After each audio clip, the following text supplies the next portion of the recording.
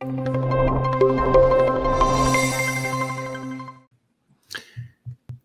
uh, you know, uh, the the reason that the the market update is so relevant and so meaningful is it it's it identifies the crease in the market. We anybody can read the headlines and figure out that residential real estate's on fire. I mean, mm-hmm. we we we try to grab good data because you know it's it's relevant. It's relevant in our conversations, right? It's relevant when you're looking and talking to somebody or you're not surprised in the market. So anybody can read the headlines and figure out things are good. That means, Brian, that if I own a piece of property and I wanted to seller finance it, I could sell it for a premium price, right? Yes.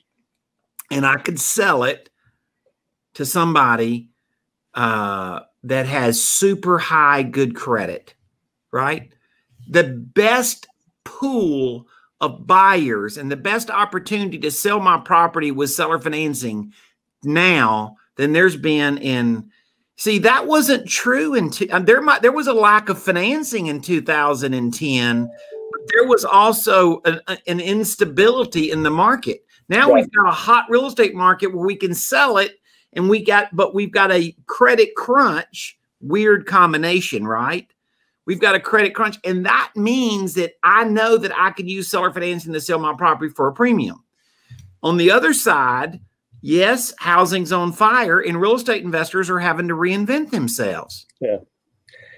And you know, I've uh, just this just this week, guys. You know, you were talking about lumber, and so my dad and my son are doing a, a rehab right now. Part of the roof is a flat roof, right? So number one, you know that piece of that two by four that or not two by four piece of plywood that was twenty two dollars last year is now eighty two dollars, and they've had three people out look at it, and it's four months out, even in a little town like I live in of forty five hundred people, four months out, trying to get a rehab done. Talked to a burnout landlord the other day, and he said, "Well."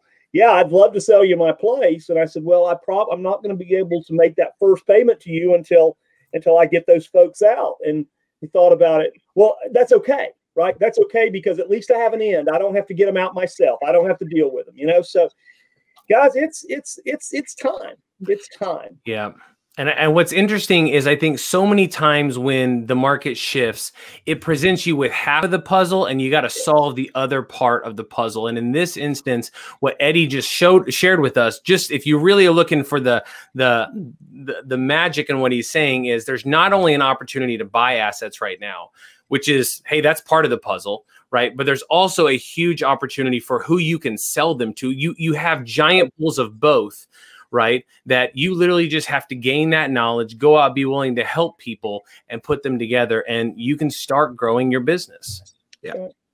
And you know, guys, I spoke with uh, with Lois and Th- Cynthia yesterday, a couple of our students, and they uh, they had a, a property that they listed on Facebook Marketplace. Not a property, they're in Houston. They had 160 inquiries within 24 hours on the property they had listed on. That's uh, it. Only 160? You sh- are you missing zero? 24 hours. Yeah. Yeah, it, it's absolutely mind boggling.